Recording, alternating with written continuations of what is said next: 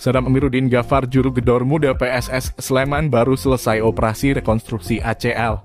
Operasi dilakukan pada Selasa 1 Januari di RS Premier Bintaro, Tangerang. Syukur Alhamdulillah operasi berjalan dengan lancar. Perasaan saya setelah operasi sangat senang dan semoga pemulihannya bisa cepat, tutur Sadam. Pemain yang akrab disapa Sadam tersebut berharap bisa kembali lebih kuat dan bisa merumput di lapangan bersama PSS Sleman lagi. Harapan saya tentu agar bisa segera memperkuat PSS Sleman kembali dan kalau bisa saya ingin memperkuat timnas Indonesia kembali, ungkapnya. Sadam yang berusia 20 tahun itu selanjutnya akan menjalani tahap fisioterapi pasca operasi. Ia mendapatkan latihan berjalan dengan normal dan naik turun tangga.